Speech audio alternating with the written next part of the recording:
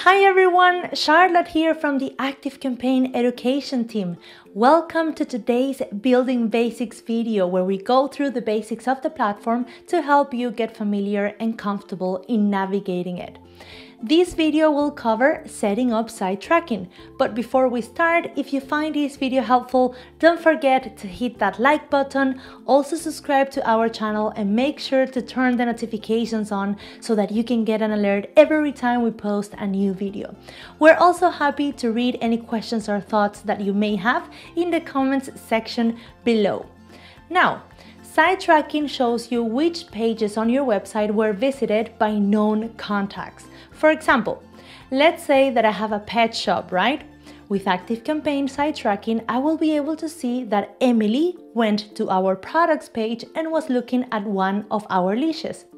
Knowing this information will allow you to automatically create personalized experiences for each of your contacts as they interact with your website. You might be wondering how contacts are identified. Well, there are two ways to identify contacts who visit your page. The first one is when contacts click on a link in a campaign sent from ActiveCampaign, and the second one is when they submit a form created in ActiveCampaign. Tracking is quick and easy to set up. We recommend that everyone set up site tracking because it's a core feature that enables more powerful marketing and sales processes. Let's jump onto the platform and configure it together. To access site tracking, we click on Settings, then we click on Tracking, and in this page, there's three things that we need to do. The first one would be to click the enable toggle to set it to the on position.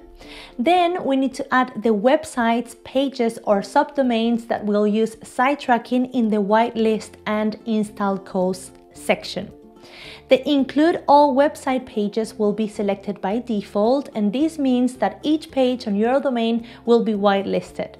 And finally, we need to copy and paste the site tracking code into the footer of each page on your website that you want to track, so that this way ActiveCampaign can communicate with your website.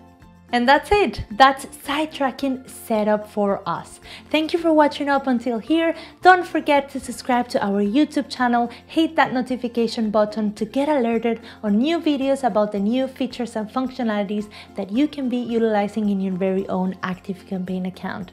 See you soon!